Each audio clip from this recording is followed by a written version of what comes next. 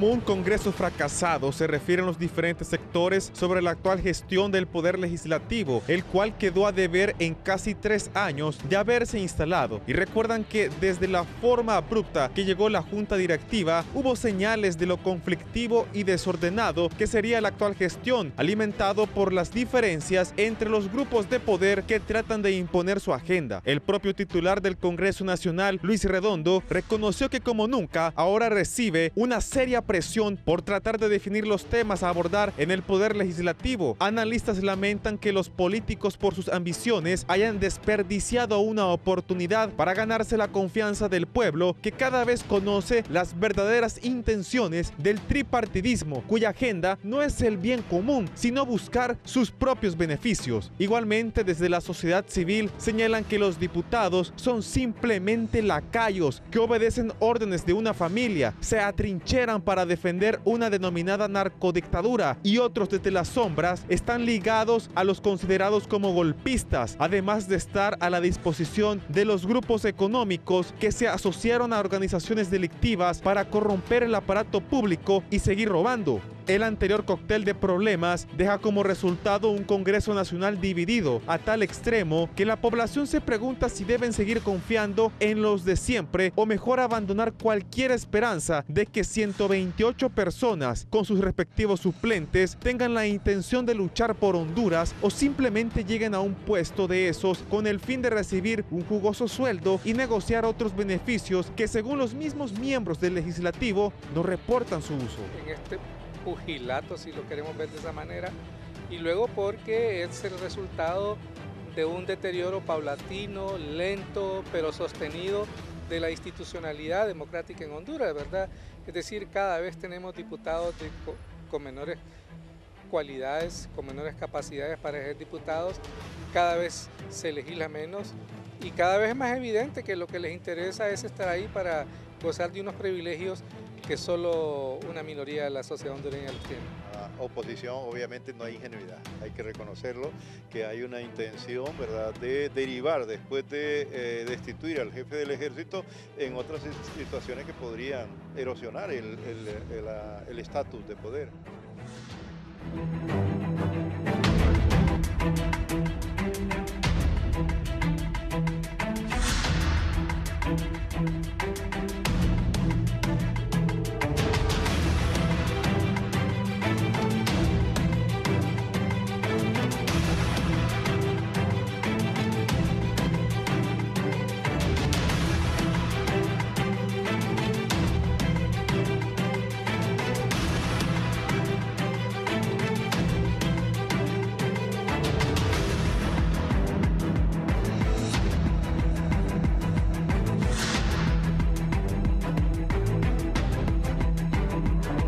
Gracias. Hoy es 29 de octubre. ¿Cómo está el Congreso hondureño? ¿Bien o mal? ¿Es un buen Congreso? ¿Más o menos? ¿O no sirve? ¿Cuál es la realidad del Congreso hondureño? Estamos por terminar el año. Estamos a finales de octubre, casi un año de las elecciones generales. Voy a hablar hoy con tres distinguidos parlamentarios. Por orden de llegada, el doctor Carlos Umaña es diputado médico, eh, diputado por Cortés, por el Partido Salvador de Honduras. Carlos, bienvenido. Muchas gracias, licenciado Raúl Valladares. Muy buen día al inmenso auditorio de este prestigiado foro. Buenos días a mis queridos compañeros de mi ciclo, colega Marco Eliud y el licenciado Jorgito Zelaya. Eh, apenado, Raúl. Eh, creo que este Congreso no ha fracasado, pero va rumbo a eso. Si no quitamos esa polarización, lo que está sucediendo. Y va a ser interesante este debate este día con estos dos connotados parlamentarios eh, acerca de esta situación, donde incluso, mi querido Raúl, eh, nos han considerado como un circo. Yo he dicho siempre, no tengo alma de payaso y tal vez en ese circo lo que intentaría hacer es trapecista, que son los verdaderos héroes de los circos. Pero Raúl, esa es la percepción y no quisiera que este Congreso, sinceramente, que tuvo la oportunidad histórica porque, eh, de consensuar, prácticamente fracasa. Muchas gracias por la invitación. Gracias, Carlos, por estar acá. Jorge Alberto Zelaya Munguía, diputado y precandidato del Partido Nacional de Honduras. Jorge. Buenos días, José Raúl. Muchísimas gracias y es un enorme placer compartir aquí con el doctor Carlos Umaña, diputado del departamento de Cortés, y el doctor Elio Girón, diputado acá por el departamento de Francisco Morazán. Estamos listos para responder sus interrogantes y la participación del público que siempre es habitual a través de, sus mensajes en este medio de comunicación. Así que muchas gracias por la invitación y honrado de estar aquí. He visto muy activo al doctor Marco Elio Girón, líder aquí en Francisco Morazán del Partido Libertad y Refundación, doctor. Buenos días, licenciado Raúl Valladares, muchas gracias por la invitación. Buenos días a mi colega Carlos Umaña, diputado del departamento de Cortés. También al licenciado periodista Jorge Zelaya, que conocemos desde hace muchos años atrás, ya tenemos, ya colgamos años. Y saludos también al pueblo hondureño, muchas gracias por permitirnos entrar a sus hogares. Eh, eh, Carlos, ¿es un buen congreso, un mal congreso? muy malo o fracasó? En este momento, y debo de ser eh, transparente, es un mal Congreso, con todo el respeto para mis dos queridos compañeros acá, para la Junta Directiva, y es un Congreso que le ha quedado a deber al pueblo hondureño. Creo que las expectativas que se tenían de este Congreso Nacional eran diferentes que íbamos a luchar por una agenda anticorrupción, que íbamos a luchar por la venida de este mecanismo que, fue que es la CICI, que íbamos a transformar la salud de nuestro país a través de una ley de protección social, que nos íbamos a quitar el blindaje los diputados para que pudiéramos ser acusados como cualquier persona eh, en, este, en Honduras. Todas estas asignaturas eh, hemos quedado a deber, Raúl pero todavía tengo la esperanza de que se pueda enderezar. Pero honestamente te digo, no veo la luz en este túnel tenebroso que ha sido esta, esta legislación, que se ha caracterizado por pugilatos, por falta de consensos, eh, se ha caracterizado por eh, violación de la palabra, no solamente de, uno de los partidos, sino que de las tres fuerzas más importantes eh, que están en ese Congreso Nacional. Entonces, ha sido bien complicado. No hemos fracasado, Raúl, pero todo apunta que vamos hacia eso y la opinión pública debe de formarse una opinión que es necesario replantear cómo se llega, quiénes llegan y qué es lo que se va a hacer en ese Congreso Nacional. Jorge, para ti. Sí ha fracasado, sí, realmente este es el peor congreso en la historia, por lo menos que yo conozco, desde que regresamos a, los periodos constitucionales, desde 1981, cuando las primeras elecciones eh, que ganó el Partido Liberal con el doctor Roberto Suazo Córdoba, eh, bueno, en ese tiempo yo estaba en San Pedro Sula, viví en San Pedro, pero, pero lógicamente estaba ya ligado a la crónica deportiva, el 86, 89 en el gobierno del ingeniero Ascona, de el 86 al 90 el, el gobierno del presidente, bueno, primero fue Socorro, después Ascona, después Callejas, del presidente Callejas, y, así en forma sucesiva pero tuve la oportunidad de ser diputado suplente del 94 98, 98 2002, 2002 2006 y ahora propietario. Y nunca había visto un Congreso tan inepto, un Congreso tan eh, desastroso, honestamente, y lo digo con mucha pena porque uno es eh, diputado eh, como el Congreso actual. Yo sí estoy seguro que hemos quedado a deber las críticas en general para los diputados, lastimosamente digo en general porque vemos uno, y, lo digo con, mucha franqueza, el doctor Umaña es uno de ellos, no solo porque está aquí, sino porque es una realidad de los que cumplen la cabalidad con sus funciones, estando en las sesiones, estando en las comisiones. Eh, posiblemente fallen algunos, pero también la doctora Ligia Ramos, que nunca falla. Eh, que se nos escape ahorita, doctor, de los que están, ah, el doctor Mateus, que después de su incorporación que fue ministro de Salud, y posiblemente, por eso les digo, se me escapen algunos nombres, pero la responsabilidad que tenemos los diputados, las y los diputados, es estar ahí, es estar en las comisiones, para eso se nos nombran. Pero en este Congreso realmente hay demasiada, demasiada eh, situación en la cual el pueblo hondureño está, está muy desencantado. Vea usted que con 55, 56 sesiones en este año, 56 sesiones, eh, ya vamos por el, noveno, bueno, el décimo mes, vamos a entrar, y se han gastado 177 millones solo en subvenciones, especialmente para los diputados de, Libre. Eh, o sea, una cosa es lo que dicen y otra cosa es lo que hacen. Entonces, han quedado a deber por eso digo, el Congreso estamos diputados de todos los partidos, pero la conducción es del ingeniero Redondo, en un comienzo con don Carlos Zelaya, ya todo el mundo sabemos lo que ha ocurrido con él, y, bueno, ahora, eh, como contaba el doctor Umaña, eso es un circo, y un circo del cual no podemos sentirnos honrados quienes formamos parte de él, José Raúl. Doctor Marco Elio. Bueno, eh, si bien es cierto, la imagen del Congreso no es la mejor, pero no ha sido el peor Congreso de la historia. Tenemos que recordar. Miren, en el Congreso, usted mencionaba, Jorgito, al expresidente don Roberto Suazo Córdoba, ya, ya fallecido en 1985, ahí se agarraron hasta puñetazos, porque querían una constituyente, querían un continuismo. Recuerdo que era ministro de la presidencia el ingeniero Carlos Flores Facusé, llegó a ese Congreso y ahí se dieron a puñetazos liberales con cachurecos, a puño limpio. Ahí salieron las imágenes en los periódicos de esa época y usted puede revisar. En la década de los 90, en el gobierno de Rafael Leonardo Callejas, ahí destituyeron al presidente de la Corte Suprema de Justicia, a su amigo y padre político, al abogado Osvaldo Ramos Soto. Lo destituyeron.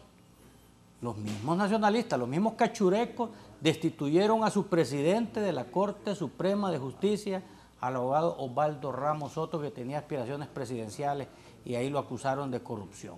Eso ocurrió en ese Congreso. Y recientemente en el Congreso de Mauricio Oliva, ¿no recuerdan ustedes cuando Mauricio Oliva entró con las tropas, con la policía eh, y lanzó gases lacrimógenos a los diputados que estaban ahí presentes? No es que no se nos debe de olvidar lo que ha ocurrido en ese Congreso Nacional. Mire, Mauricio Oliva dio la orden y ahí estaba el expresidente Manuel Zelaya Rosales de diputado, había salido electo diputado por el departamento de Olancho, llevó con su esposa la ahora presidenta de la República, Iris Xiomara Castro de Zelaya, y ahí ordenó, junto con Juan Orlando Hernández, sacar a los diputados a punta de bayonetas. Y así fueron sacados los, diputados. Ese fue en el primer periodo de Mauricio Oliva. ¿Y qué pasó en el segundo periodo en el Congreso Nacional de Mauricio Oliva? Como vino la pandemia, ok, entendemos, hubieron diputados que fallecieron, como médicos, como toda la población, pero después ya la universidad estaba en clases, los colegios estaban en clases, los kinder, los niños pequeños estaban en clases, ya se había restaurado y de toda la sociedad sobre el Congreso Nacional seguía sesionando vía Zoom, claro, pero lo hacían con objetivo porque ya había autorizado a la Secretaría de Salud Pública ya poder asistir a reuniones, pero el Congreso Nacional no se reunía, lo hacían vía Zoom porque ahí es donde nos ampara un montón de paquetazos. Y además, este Congreso no ha aumentado impuestos como lo hizo estos 12 años del Partido Nacional. Nos aumentaron del 12 al 15% de impuestos que pagamos cada vez que compramos un artículo. Ah, y eso no es peor si este Congreso no ha subido un tan solo impuesto. Es que no solo no tenemos que ver nada más sobre la nariz, tenemos que ver todo lo que ha ocurrido y por consiguiente, a mi modo de ver, los peores congresos los ha tenido el Partido Nacional porque nos ha zampado paquetazo tras paquetazo que, bueno, ellos fueron los que devaluaron la moneda al 100% en tiempos de callejas. De ahí Maduro lo siguió devaluando más. Luego vinieron los otros, una devaluación acelerada y eso ha provocado, provocó un alto costo de la vida. Ellos fueron los que trajeron el neoliberalismo acá, los que, los que vendieron la ENE a pedazos, Hondutel, que ahora la presidenta Iris Xiomara lo está recuperando, el Sanaá, Aguas de San Pedro y todo eso, toda la privatización, los que vendieron la maquinaria de Soctravi, de SECOP, se llamaba en ese entonces, ahora llamada Secretaría de Infraestructura y Transporte, fue el Partido Nacional. Y todo eso lo autorizaba el Congreso Nacional.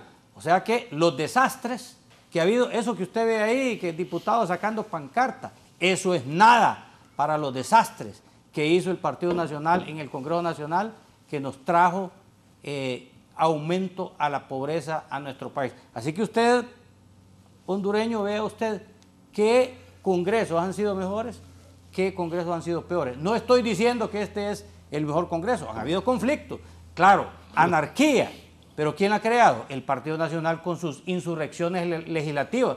¿Cuándo hizo la primera insurrección legislativa el Partido Nacional y bajo qué excusa? Ellos decían, siempre, ponen una excusa. Ahorita la insurrección es por la interpelación del jefe de la Fuerza Armada. Esa es una excusa. De fondo es otro. El fondo es otro. El fondo es el juicio de eh, Narri Alfura. ¿Y quién propone esa, esa moción?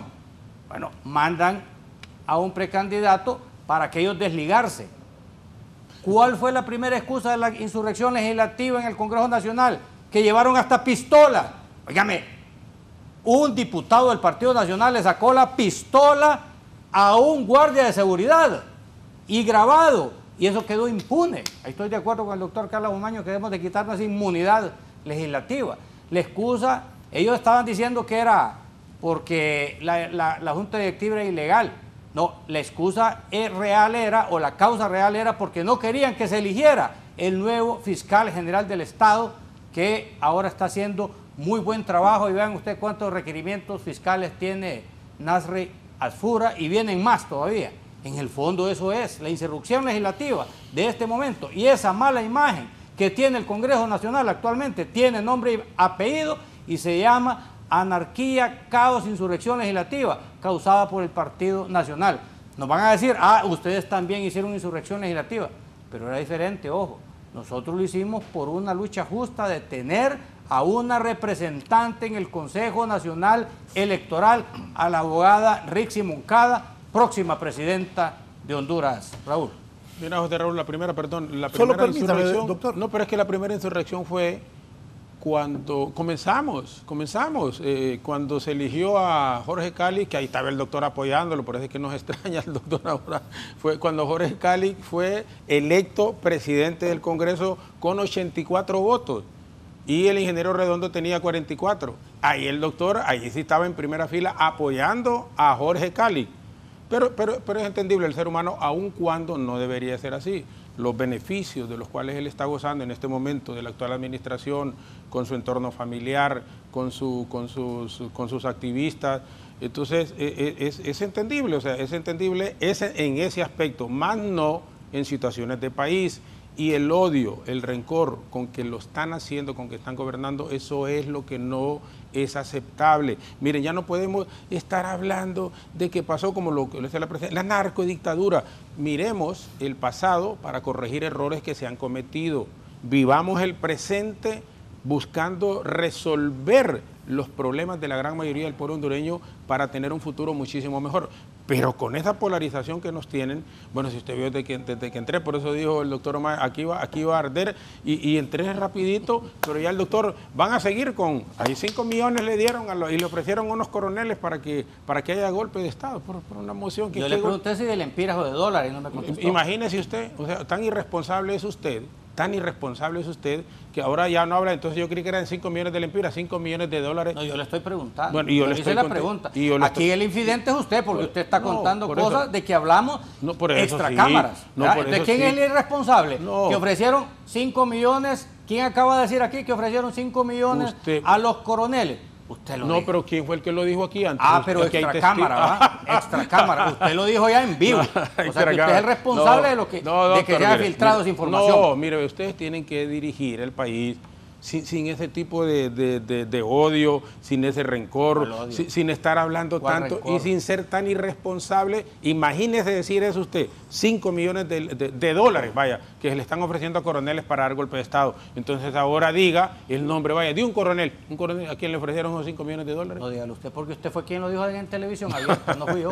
Pero usted nos lo dijo en privado, yo ah, ni idea pero tenía. eso es otra cosa. Ah, o Yo sea no que en privado es irresponsable. decirlo en público. Quien, quien fue irresponsable No, de decirlo en doctor. público es usted. Por- sí, y pero- ahora que ya sabe la información, averígüele usted, hombre. si Ah, bueno, averiguarlo, si ustedes no, tienen- yo no si tengo ustedes ningún tienen, interés, Usted es periodista, pues. No, usted es periodista de investigación Doctor, también. doctor, mire, de doctor, ejercicio. doctor, dígale al ingeniero Redondo, porque sé que usted solo es un, es un, es un mandadero que le dicen lo que tiene que Igual que decir usted, en los medios. usted está haciendo los Doctor, mandados con esa moción, a usted lo están quemando. ¿Sabe cómo va a quedar usted? Como aquella que le falsificó la firma al presidente y que después lo negaba. Así va a quedar usted. No, doctor, si, mire, ese- ve. si esa noche que usted iba a presentar esa moción hubiera habido un golpe de barracas No, y posterior un golpe de Estado, usted hubiera sido señalado de No, por vida no. como el causante de ese No, golpe de barracas no, y subsecuente ¿y golpe de qué- Estado. y por qué golpe- Porque es que lo están qué- utilizando. por qué usted. golpe de ¿A quién lo barracas? utilizado es usted? Doctor, ¿por qué si lo que le estamos pidiendo es que se presente el jefe de las Fuerzas Armadas al Pleno a dar explicaciones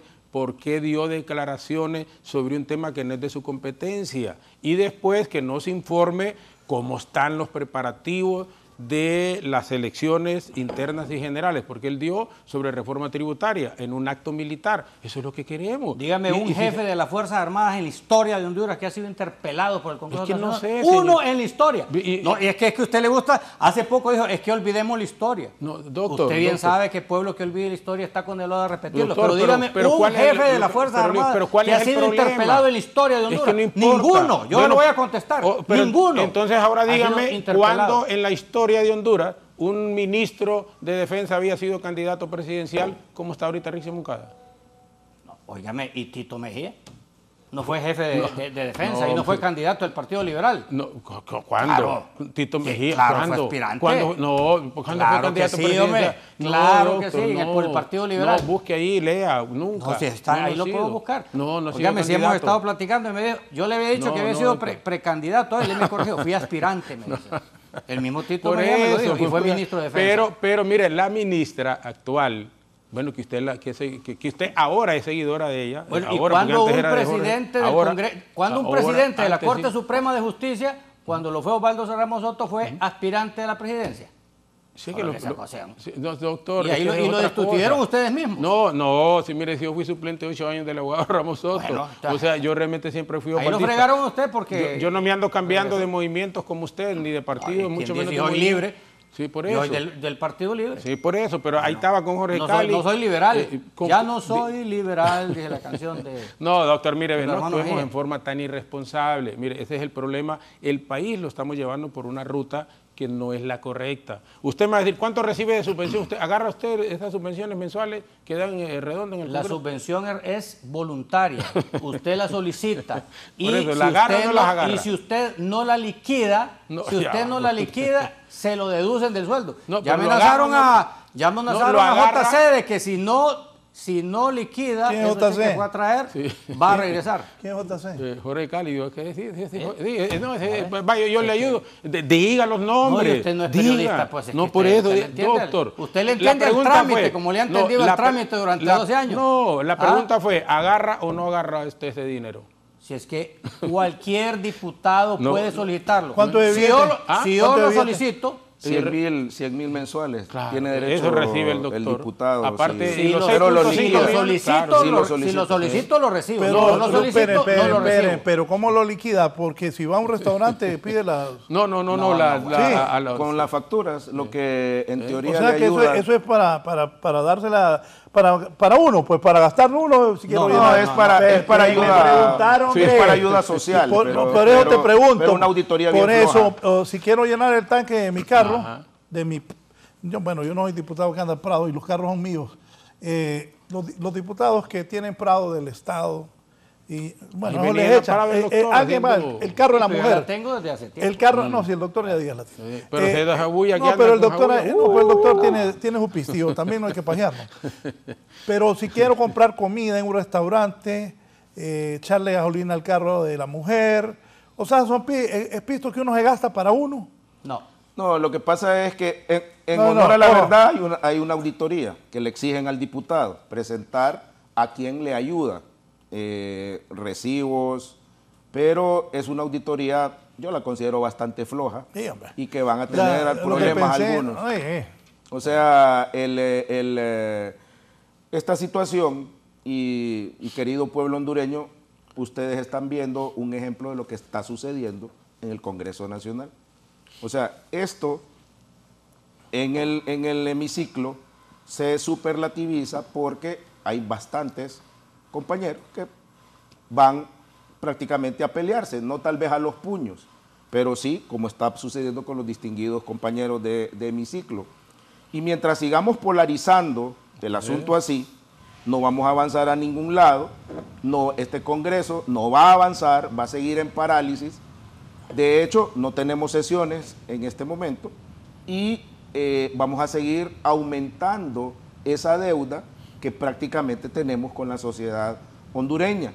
Entonces, este es un claro ejemplo de lo que está sucediendo, de los dimes que te diré, y lamentablemente es así, con todo el respeto para mis queridos amigos, porque con los dos tengo muchos años de amistad. Entonces, Raúl, esta es la situación. Eh, yo hasta me sonreía porque nosotros los diputados del Partido Salvador de Honduras vemos estos, estos monstruos peleándose y, y se suman los liberales también.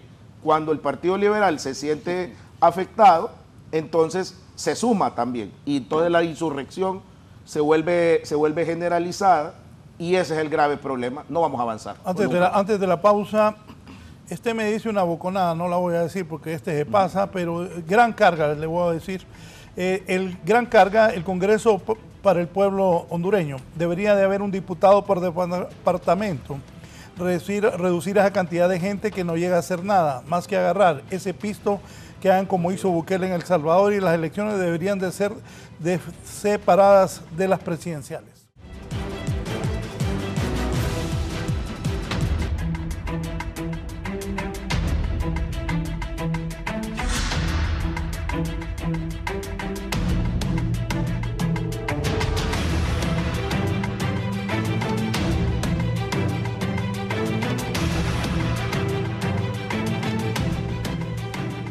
Algunos dicen que al regresar de estas nuevas vacaciones del Congreso, tres semanas, no habrá sesiones en el hemiciclo.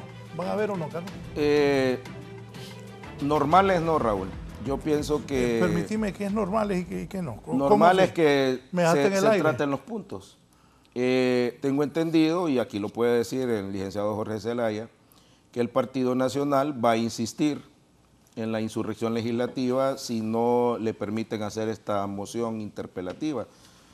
Eh, yo siento, Raúl, eh, que con la interpretación que hizo el ingeniero Redondo en un comunicado que, salió creo que ayer, donde manifiesta que esto es ilegal, eh, bueno, nues- nuestra bancada, yo he hecho las consultas, yo creo que los diputados tienen ciertas prerrogativas y que deben ser respetadas.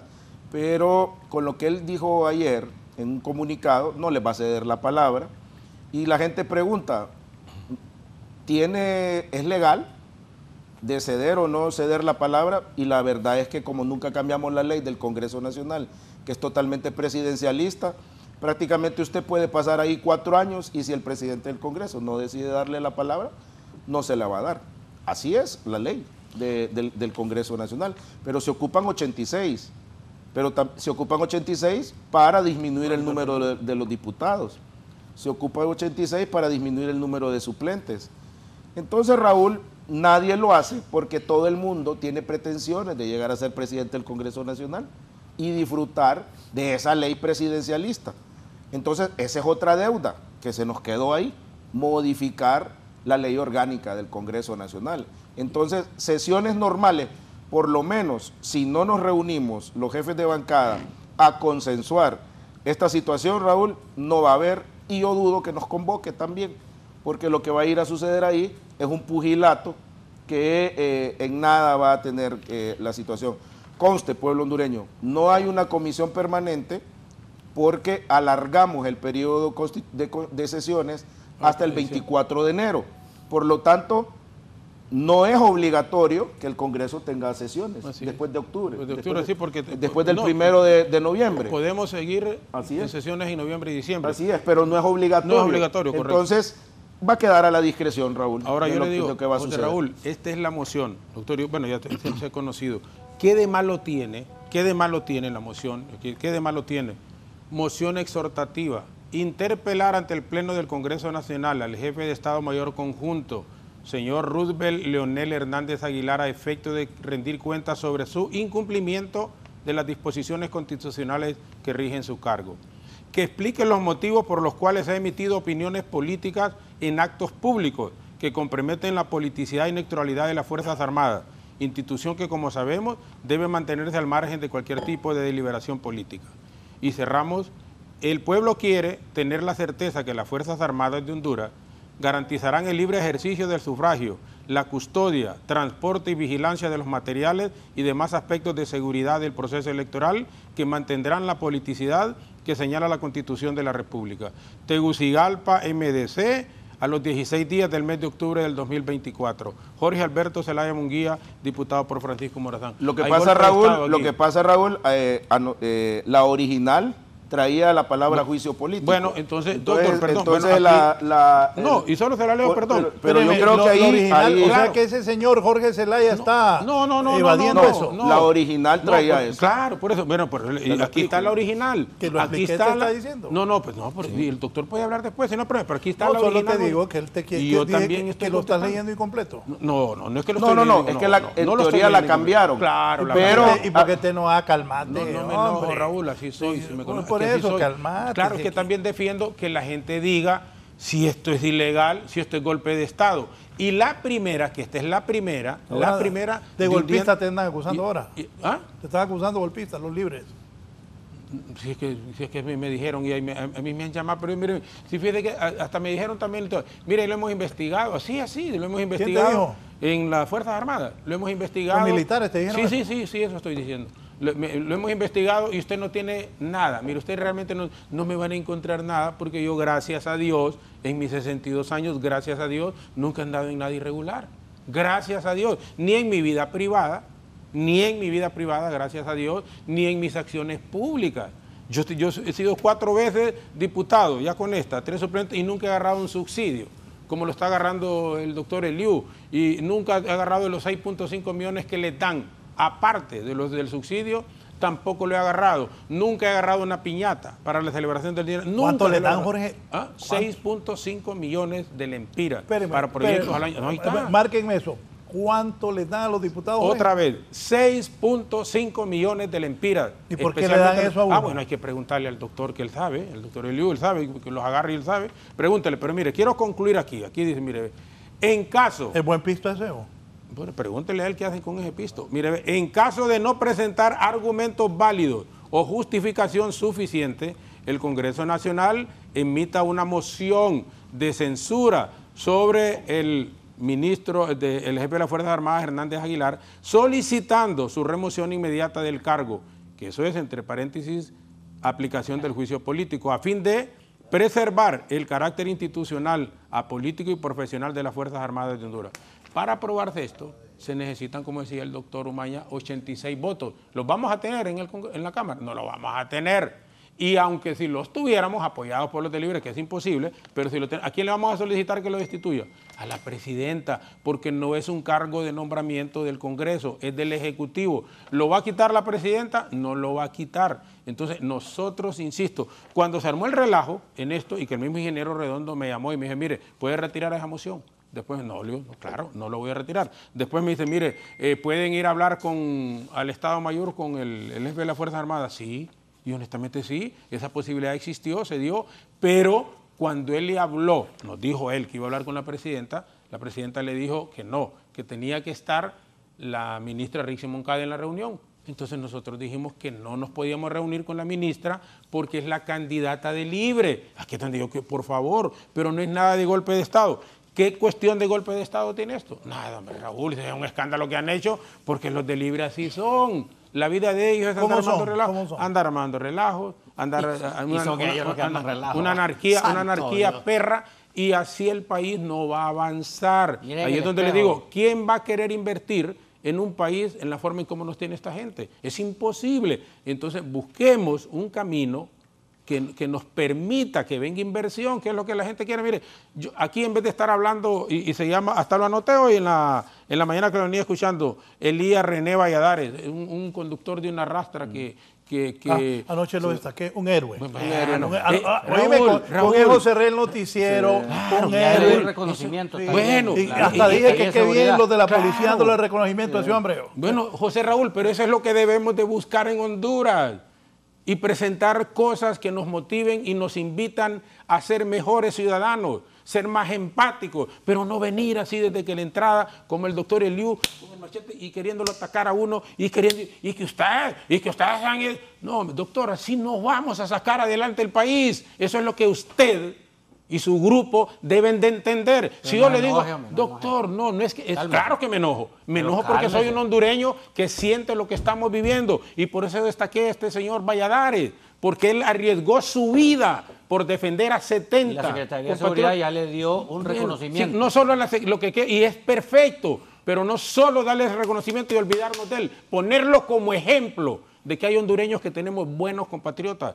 que sí podemos salir adelante cuando nos unimos, pero así peleando como la gente nos ve. Así como ustedes que quieren meter presos a todos los nacionalistas. está de bravo, cómo no, se pone de do- rojo. claro que me tengo ¿Cómo que quieren meter presos estos a todos los a nacionalistas? todos los- eh, ellas- eh, la, la- la intención de ellos es ver tras las rejas a la gente del Partido Nacional. No lo van a lograr, porque habemos nacionalistas honestos, habemos nacionalistas que damos la cara, nos ponemos de frente y vamos allí y no tenemos nada de que avergonzarnos, ni les tenemos miedo.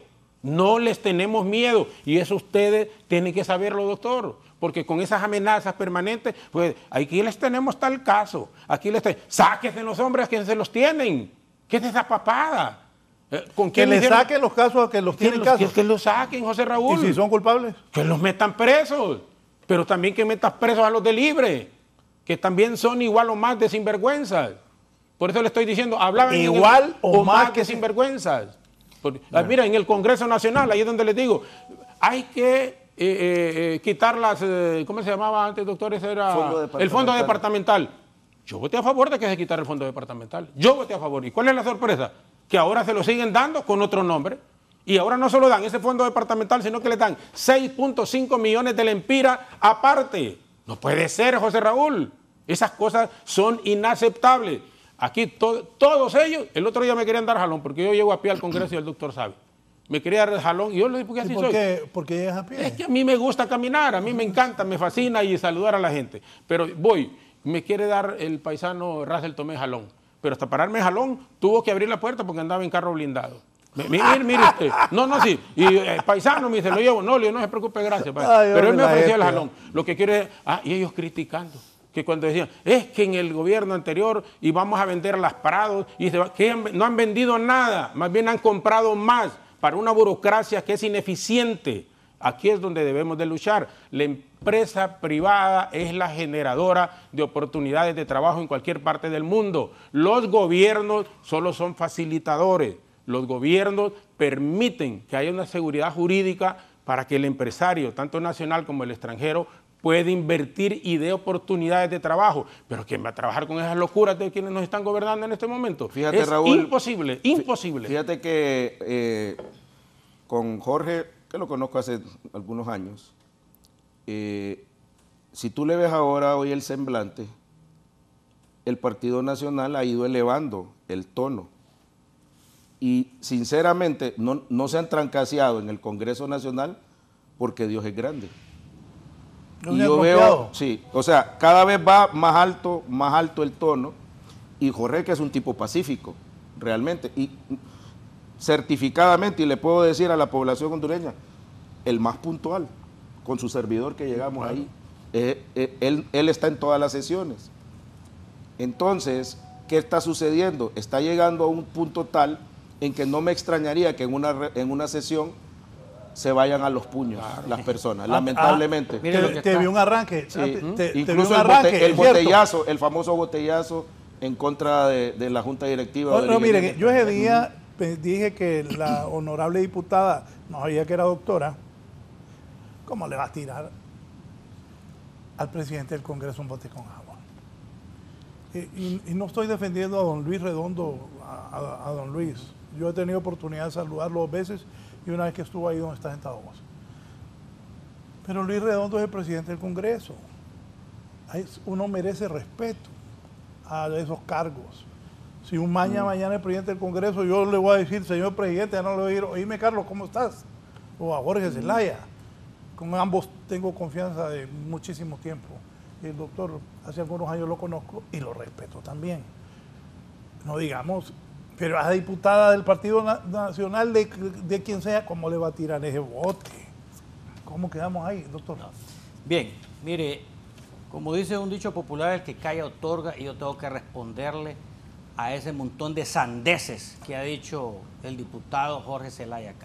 En primer lugar, este diputado que les habla nunca ha recibido esos 6.5 millones que habla el diputado Jorge Zelaya. Y les diré algo. Dice acá en este foro que los militares lo, lo han investigado y que no le han encontrado nada. Pero no lo han investigado bien, porque de su propia boca usted dijo públicamente en un programa de televisión a televisión abierta que usted estaba involucrado en el caso Hermes y que recibía fondos de Juan Orlando Hernández mensualmente su cheque y que No, sumaba eso- varios millones de lempiras No, no, en varios años. voy- Usted mismo lo confesó de su boca y dicen los abogados que a confesión de parte, relevo de prueba y no le tenga miedo a ser juzgado por eso. No, hombre, Ah, claro Si que usted está miedo. diciendo, juzguenme, métanme preso. Claro. Bueno, no vaya a estar diciendo después que es persecución política, porque eso sí lo dicen mucho.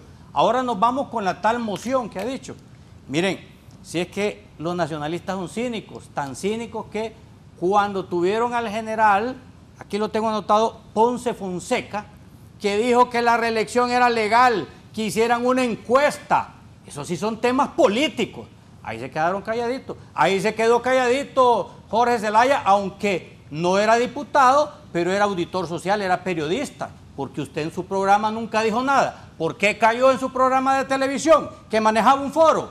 Nunca dijo nada en contra de la reelección, ni mucho menos de lo que dijo Flores Ponce, perdón, Ponce Fonseca, el general, que dijo que Jo eh, eh, había sido reelecto legalmente y propuso una encuesta, siendo general de las Fuerzas Armadas, que la responsabilidad de las Fuerzas Armadas es mantener el orden constitucional, el imperio de la ley y la alternancia en el poder. Eso sí era mente- meramente político.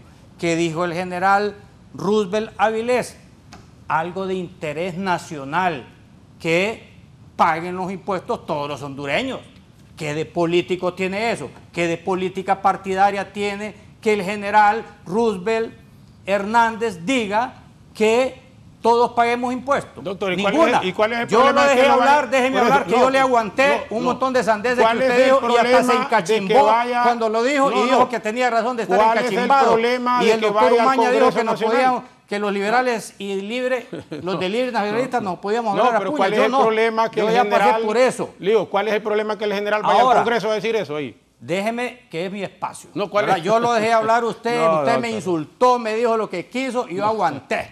¿verdad? Y no Ah, me enojé y no estoy enojado. No, no. Ahora, ¿qué es lo que sucede? Presenta él esa moción, usted ha sido testigo aquí, es que el pez muere por su boca, usted ha sido testigo aquí de las dos mociones que pretendía Así introducir Jorge. Zelaya. En uno decía destitución No. de su cargo del general de las Fuerzas Armadas. Ah, quieren engañar a la gente que se necesitan 86 votos. Sí, eso es cierto. Ah, bueno. Pero con solo el hecho que se apruebe una moción, una moción donde dice que hay que destituir a las Fuerzas Armadas con la historia de Honduras que hemos tenido, que no le gusta hablar de la historia. No, claro, no le gusta hablar del pasado, porque en el pasado de Honduras, y a mí tampoco me gusta, pero es necesario hablarlo, en el pasado de Honduras estamos llenos de golpes de Estado y golpes de barracas. Óigame, ¿no se acuerda usted del general Osvaldo López Arellano que le dio golpe de Estado de al mejor, tiempo. al mejor gobierno, para mí, ¿verdad? En la historia de Honduras, el del doctor Villeda Morales, el de Pajarito. Osvaldo Ló- López Arellano le dio golpe de Estado. Hable de Después, de Osvaldo presente. López Arellano, ¿quién le dio golpes por el ca- un caso de corrupción? Que de hecho, Osvaldo López Arellano después se sumó al Partido Nacional y que fue acusado del Banana Gate. O sea que quería que los bananos hondureños se fueran sin pagar impuestos. Y de ahí le dio golpe de barracas, ¿quién? Juan Alberto Melgar Castro, que después se hizo miembro del Partido Doctor, Nacional. hablemos del presente, no es que perdamos estos eso, es, un- este eso es el pasado tiempo. reciente. No, ese es el ¿cuál pasado? No, reciente. está hablando de- ¿Cómo que no vamos a hablar de la historia? Doctor, no le gusta, ¿sabe por qué? no. Porque eran miembros del Partido Es que lo Nacional, que- lo que dieron golpes de barraca. es que hablemos y ahí del nos vamos, presente y ¿cómo que hablemos hacia el Mire, futuro. tengo que elevar la voz porque yo No, lo dejé hablar y usted ¿cómo no me deja mejorar hablar. la situación de la calidad de vida Me de la decía gente? mi abuela, De la gente. ¿quieres enojar a la gente? Decirle la No, verdad. no, no, no, no, ¿por no, qué se enoja? No, no, ahora, sí le te- ahora sí tiene razón de enojarse. Ya lo voy a enojar a ¿Cuántos- usted, ya le voy a decir cuánto de gana su esposa La de tercer viceministra. golpe de barraca ¿Cuánto que gana su dieron fue suegra? Policarpo ¿Cuánto gana su Paz? García. Y- y para que Polipa- de. Policarpo Paz le García le sacar, dio golpe no, de barraca a Juan Alberto Melgar de Castro. Ahí van tres golpes de barraca. Hombre. Al inicio, a mediados de los usted, la 80. dio la golpe. ¿Quién fue otro golpe de barraca? No, hombre, Eh, doctor, Walter- el general Walter Reyes de- de la de Fuerza de Aérea le dio le- golpe de barraca a, al general Gustavo Álvarez Martínez. Entonces, esa es historia reciente. Israel que ellos la quieren olvidar esposó, y que ellos no la quieren poner en los no libros de la escuela. Porque Israel aquí no quieren poner en, lo la literatura. Esos libros vienen de afuera. No quieren que conozcamos nuestra historia hondureña, que está plagada de golpes de Estado. Y ustedes creen por quién ha sido impulsado. La, la historia la, mayoría a de los golpes de Estado por el Partido Nacional. ¿Y sabe por qué digo yo que lo están Marco utilizando a usted con esa moción? Usted va a quedar como una diputada que le falsificó la firma al presidente. No, hombre, no. Y en el golpe de Estado al presidente Zelaya en el 2009. Ella no pensó la repercusión que iba a hacer. Ella en un momento emotivo, así como usted está leyendo No, eso, no, firmó no esa cuestión. Pero no fue momento emotivo. Bueno, llámele como quiere, sabe, premeditado sabe, como quiere, pero ella no pensó que iba a ser emotivo. señalada. ¿Usted cree que si esa diputada hubiera pensado que iba a ser su sepultura política y que iba a ser pero, señalada de doctor, por vida? hablemos de otra- no- lo hubiera presente, hecho. Pensar, Usted, pensar no es fácil tampoco. Usted de esa manera, de eso que está haciendo, Ajá. mire, si usted hubiera provocado un golpe de barraca y un No, subsecuente golpe de Estado, usted hubiera quedado No. señalado de por Doctor, vida. ¿y por ¿Sabe lo que hicimos nosotros con interrumpir? Y el, el- bueno, no nosotros, No, el no, presidente, usted el presidente del Usted Congreso no- Nacional, en suspender la reunión, fue salvarle su pellejo a usted, bueno, porque iba a quedar gracias. señalado por la historia gracias. como golpista, si esos hechos hubieran ocurrido. ¿Usted cree que nos chupamos el dedo nosotros con esa moción? No nos Este, chupamos el dedo, había movimientos de barracas en ese momento. Mire, ve, estaban ya movimientos dentro de las Fuerzas Armadas. A eso fueron los que les son dieron afines cinco al Partido millones- Nacional. los cinco y millones no de era dólares. para ir a ver el partido Real Madrid con Barcelona, Doctor, no era para eso. A eso es que le estaban Era- dando los 5 millones de dólares. No, Eso lo dijo usted acá. No, usted fue Sí, el que yo lo dijo. sí, y lo dije, pero al interno. Yo lo dije a- fuera de cámara. Usted lo dijo, usted fue irresponsable y lo tiró No, a Honduras y al mundo, porque no, este programa es visto a nivel internacional. Doctor, doctor, Pero hablemos del si presente. estaban ofreciendo ese dinero, esos 5 Congreso. millones que no ¿Cómo se sabe si eran de dólares o de ¿Cómo lempiras a militares leyes? para que dieran golpe de barraca, ustedes deben de ser investigados de dónde está saliendo ese dinero que antes, de acuerdo a la Fiscalía de Nueva York, salía del narcotráfico. Hombre, Hoy José no Raúl, sabemos si tienen caletas todavía.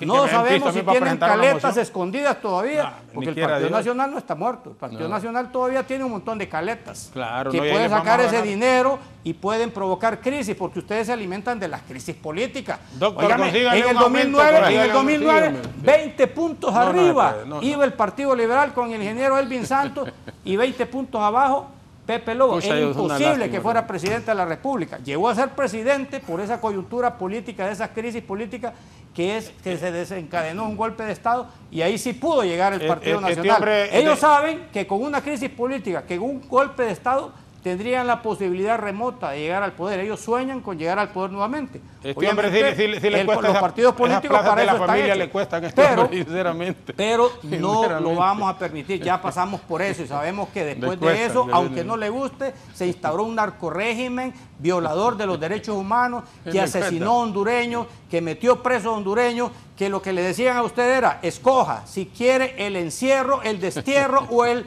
entierro. Así era Juan Orlando Hernández, su líder, el que le daba cheques a usted mensualmente, y no lo digo yo, usted mismo lo dijo de su boquita y ahora tiene que responder por eso.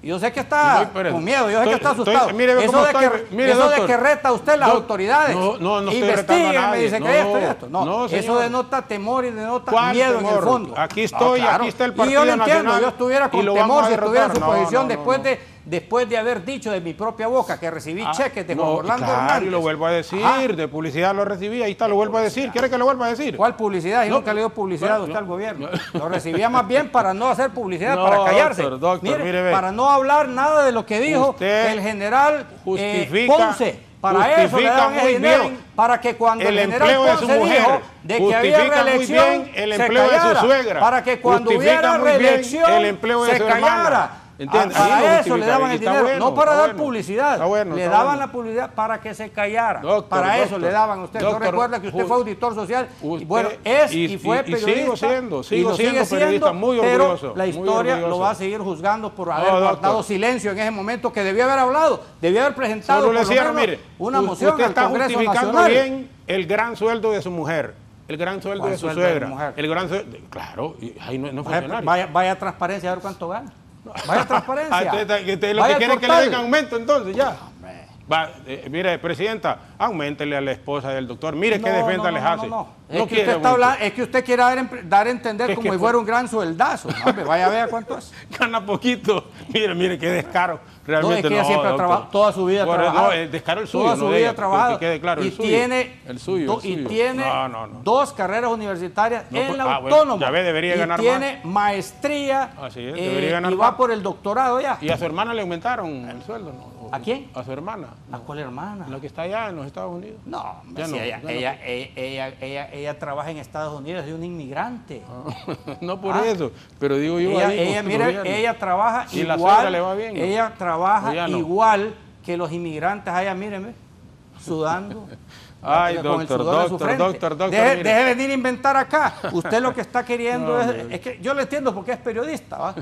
Pero, oígame. Es que me da usted- risa, mire, Usted está país- molesto, pero es que usted mismo ¿por lo dijo de su molesto? boca. Yo sé, usted yo mismo de su boca yo dijo sé. que recibía ¿Por cheques de Juan Orlando ¿Por qué Hernández. voy a estar molesto? y tiene que doctor? responder por eso. ¿Por qué voy a estar molesto? Yo, mire, Ay, ¿a poco no lo dijo? Lo, Pues, lo es que que me lo preocupa es, claro, no, yo no estoy. No, claro, es que por supuesto, ¿sabe por qué? ¿Cómo Porque que está enojado y después no esté enojado?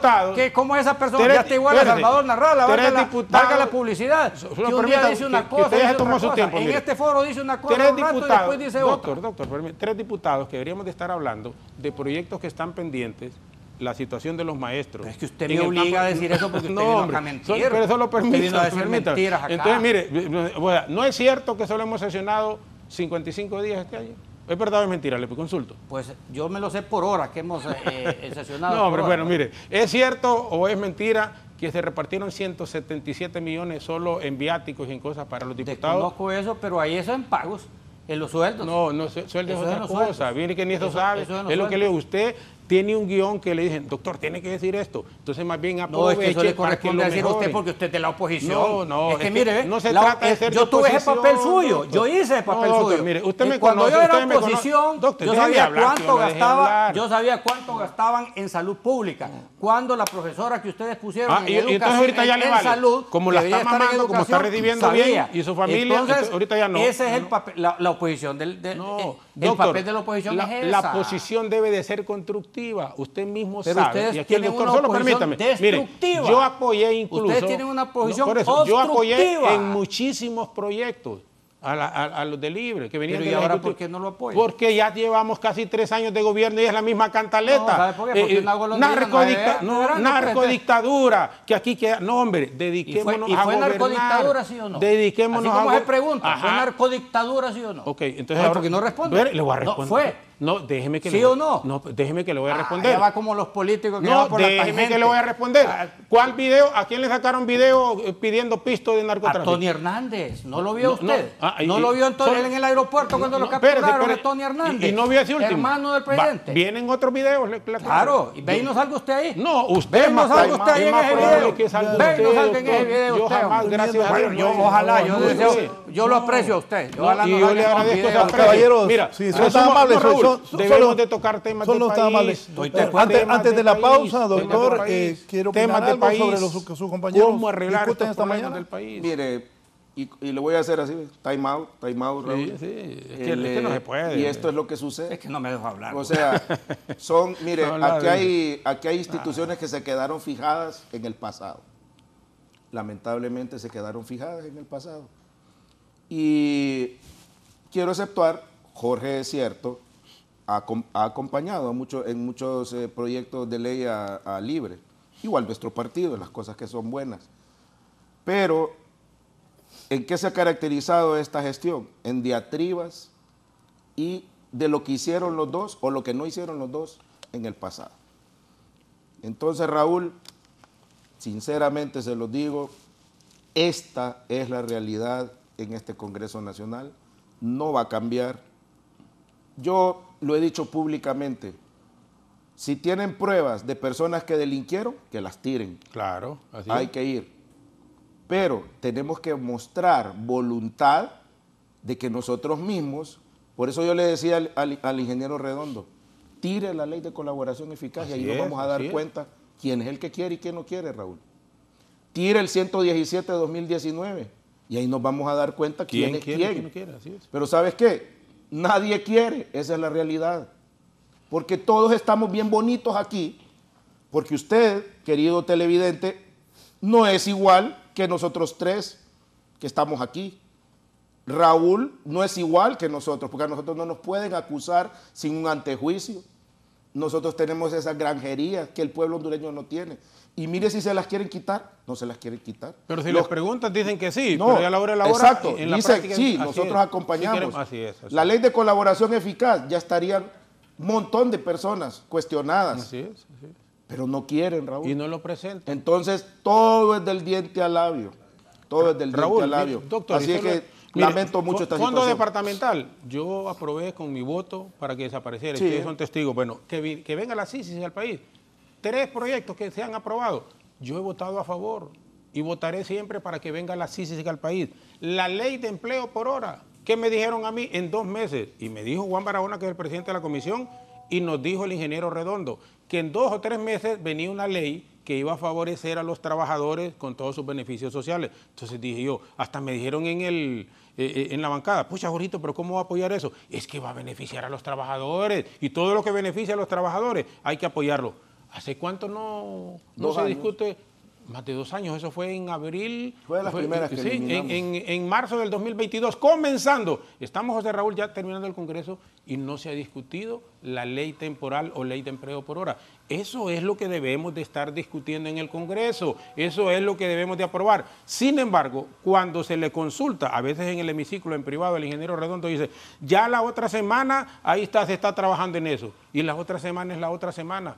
Un, un cobro que se, para que uno llegara a los centros eh, comerciales y que no se pagara De con una- parqueo. de parqueo. Eh, eh, cuando estábamos en el tercer debate, de repente habla el ingeniero Redondo y dice, no, me llamaron de la Cámara de Comercio e Industrias de San Pedro Sula y me dicen que van a dar unas opiniones, hasta se paró, se ha parado. Esas son las cosas que benefician al pueblo hondureño y que sí las hemos apoyado, que sí las vamos a seguir apoyando, pero como le digo, el país no va a arrancar, no va a salir adelante si no nos ponemos de acuerdo, Raúl y compañeros. Miren, ahorita está libre en el poder.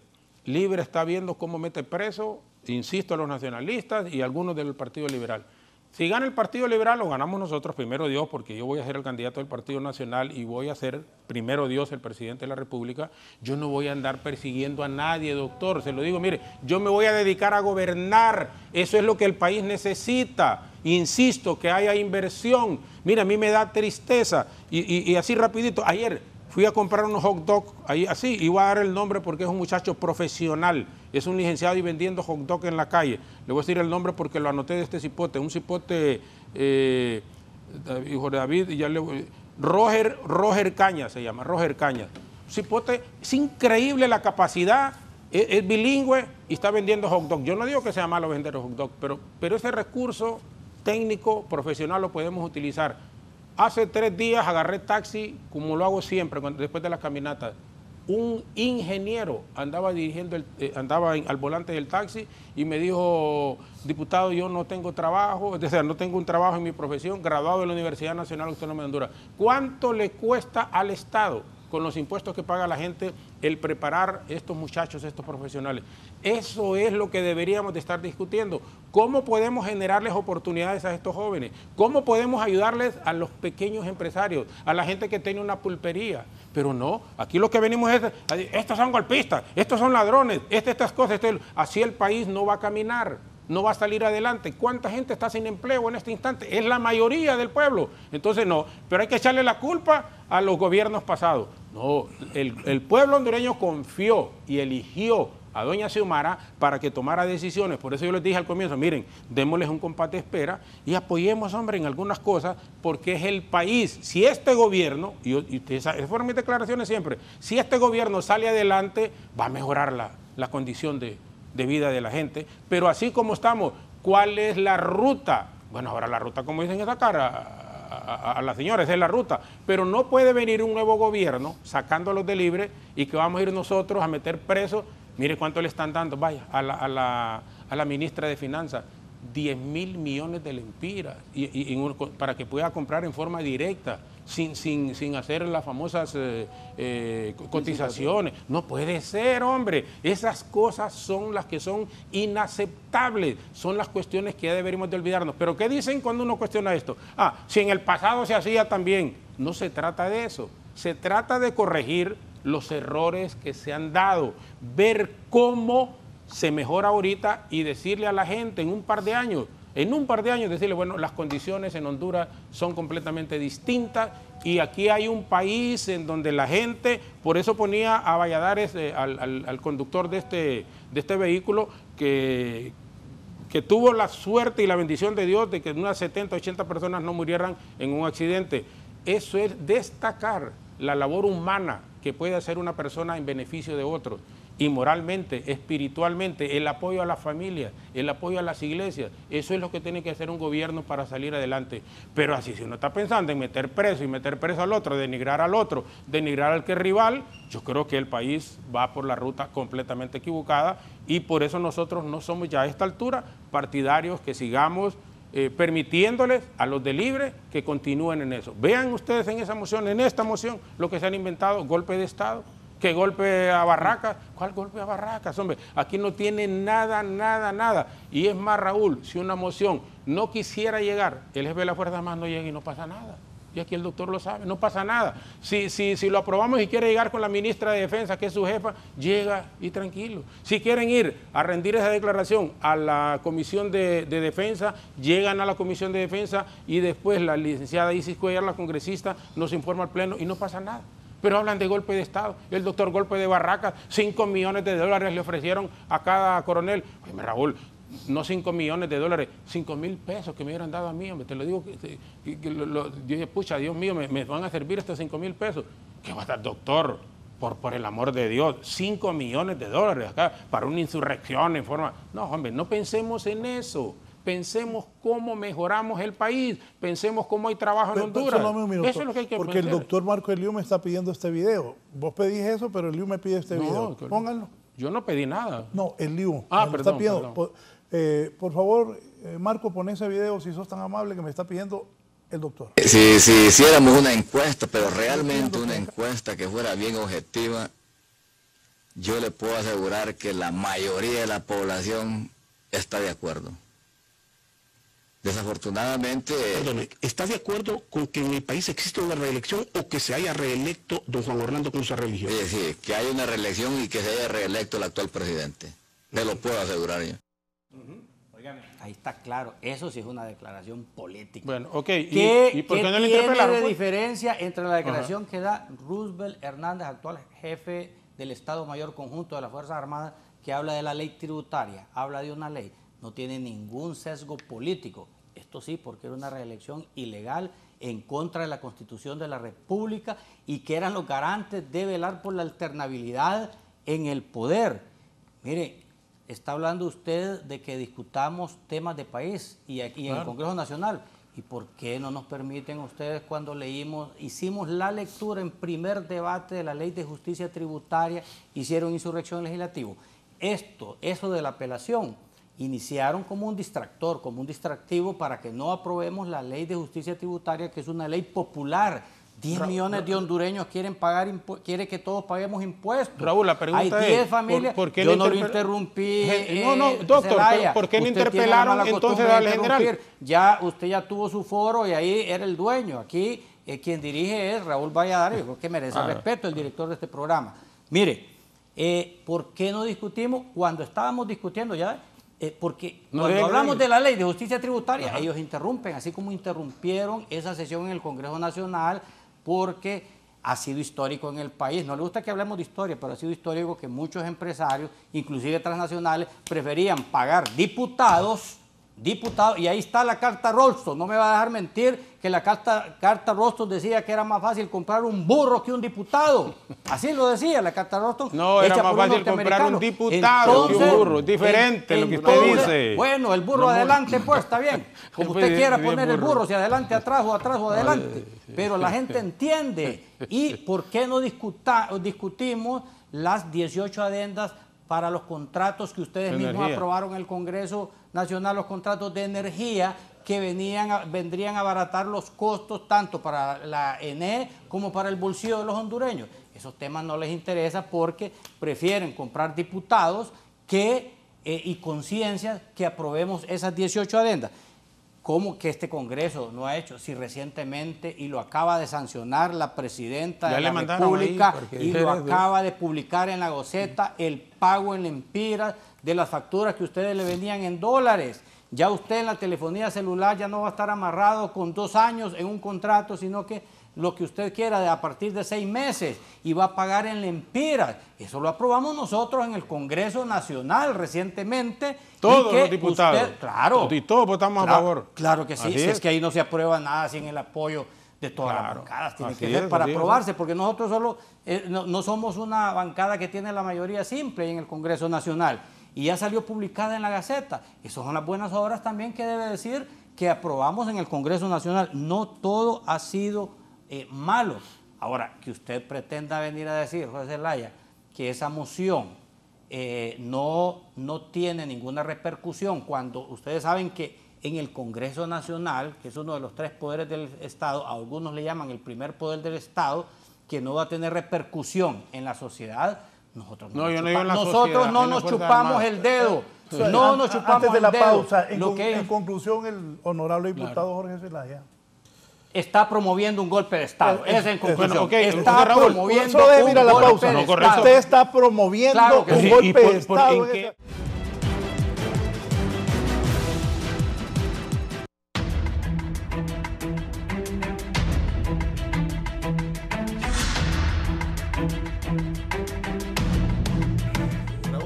Sí, me claro, permites, sí, antes de, sí, claro. de esto que acaban de decir los, los compañeros, Dos, golpe de- dos diputados. Dos diputados. ujú, dos diputados, es realmente serio.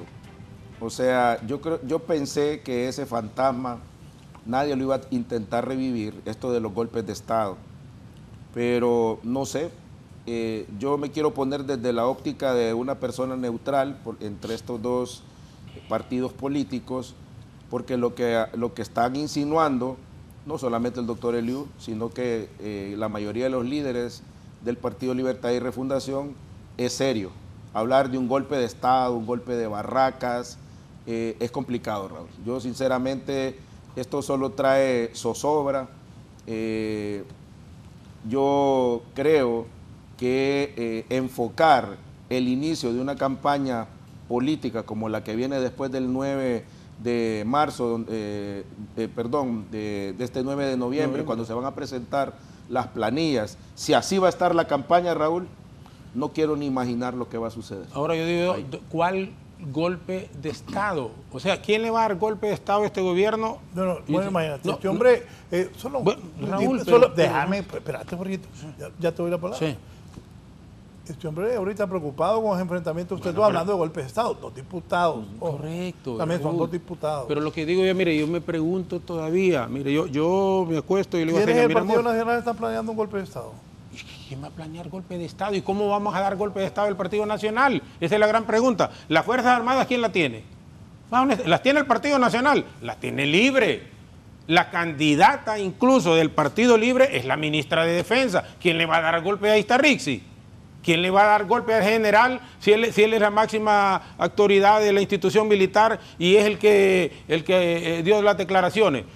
Si no interpelaron al ministro en el gobierno del presidente Hernández, ese fue problema de libre, porque pudieron en el Congreso, después de estas declaraciones que, que puso ahí el doctor Eliu, eh, decir, presentamos una moción.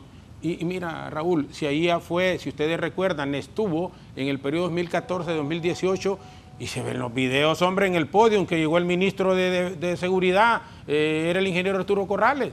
Lo interpeló, yo no sé, ¿era diputado usted, doctor? No. No, ¿usted era diputado? Bueno, pero, pero interpelaron con una moción que ¿quién la presentó? El abogado Jorge Cali, a petición del expresidente Zelaya. Presentó la moción, se aprobó y fue al Pleno.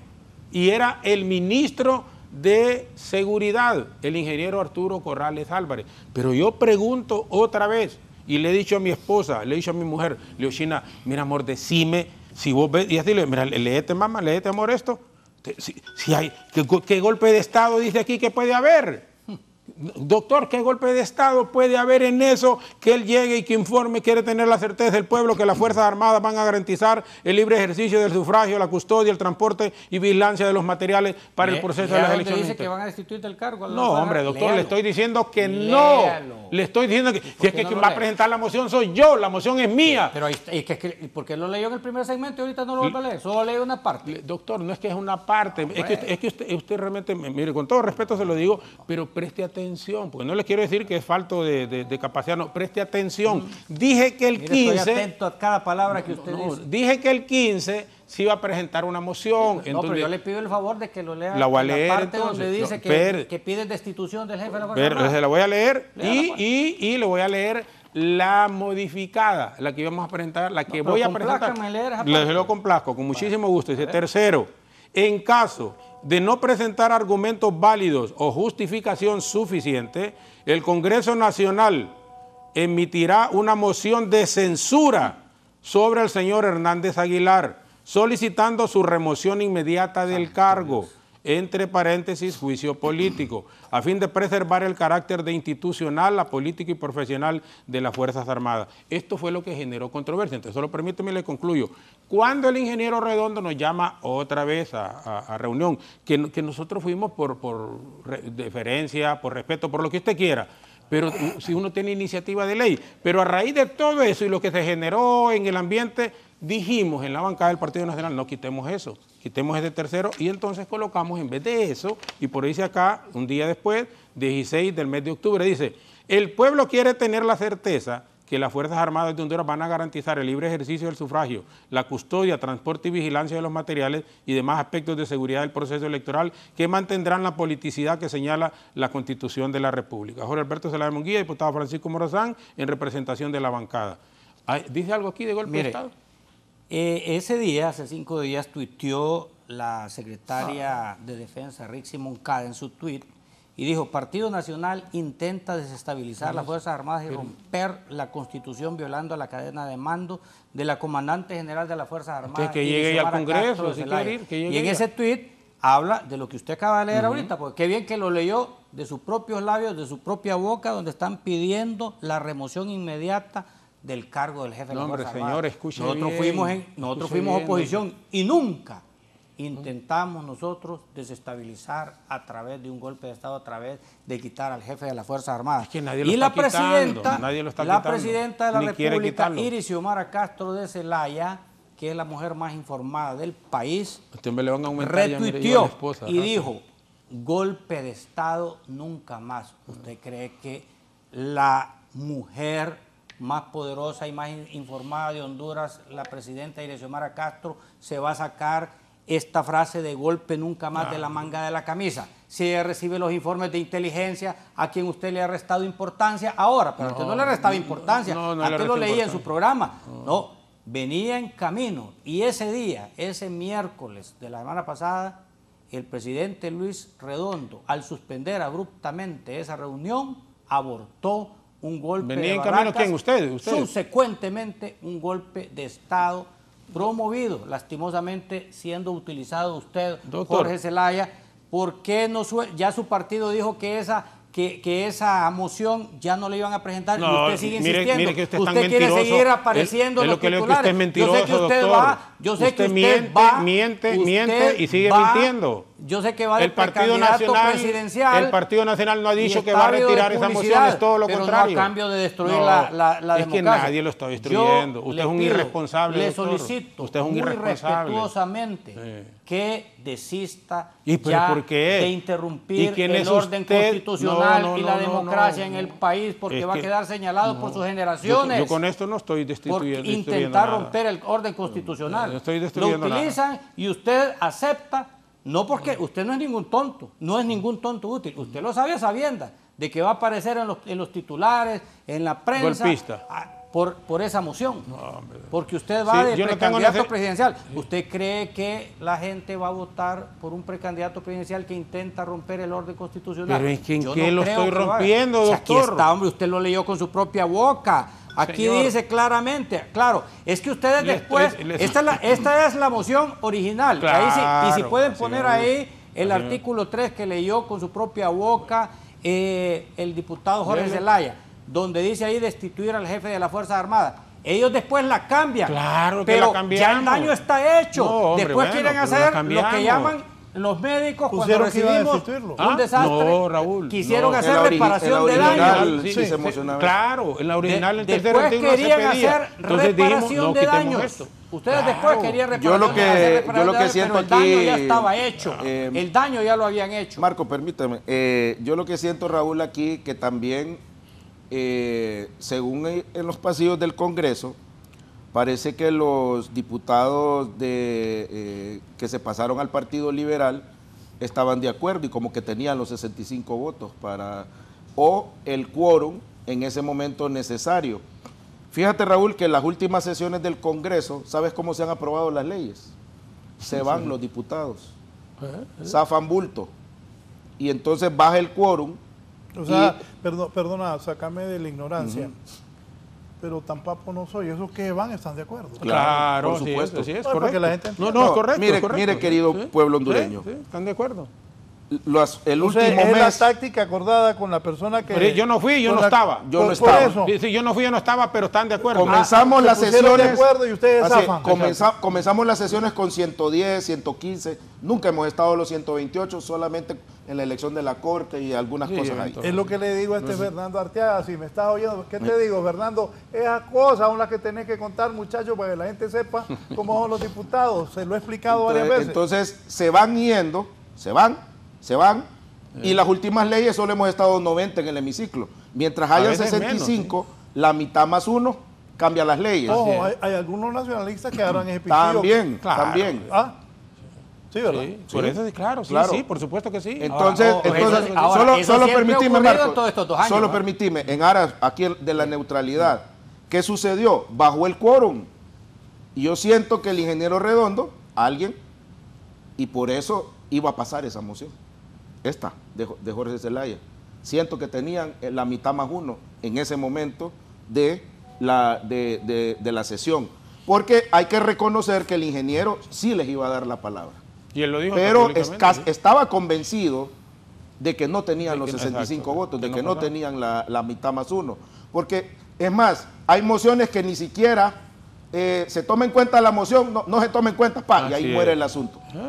Pero a raíz de los compromisos con los jefes de bancada, yo siento que en esa situación, como se van, se, está, se diluye la sesión, Raúl, entonces es bien interesante, y aquí es periodismo de investigación, cómo termina, y si, y si tú ves los reportes de ASJ, Consejo Nacional Electoral, están muy pendientes de cuánto se quedan los diputados de la sesión. No basta con ir, poner la tarjeta, porque al final, Raúl, se terminan yendo y las leyes así se aprueban, con menos de 100 diputados, con la mitad más uno. Entonces, yo pienso, es una lucuración mía, no quiere decir que tengan la razón o la verdad, pero sintieron de que iba a pasar esa moción y ellos dicen que tiene esas eh, insospechadas consecuencias de un golpe de barraca, los nacionalistas dicen que no. Sí, no, no, no. Entonces, yo te puedo decir, Raúl, mi bancada se iba a abstener de votar en esa moción. No, no, no, no, nosotros consideramos que no es prudente en aras del país eh, eh, cuestionar a las Fuerzas Armadas de Honduras. Ese es Doctor, el, ahora- pensamiento, el pensamiento de la bancada. Entonces, eh, siento que por ahí llegó y si hubiera pasado la moción, independientemente que los nacionalistas hayan retirado el acápite 3 que tenían de, la, de la original, no se miraba bien que interpelaran un jefe de la, de la Fuerza Armada, porque hubiera sido la primera vez en la historia y pudiera haber tenido consecuencias diferentes. Esa es la realidad, Raúl. Ahora, y a mí este- me gusta contar la historia para que el pueblo hondureño juzgue de primera mano lo que sucedió. Ahora-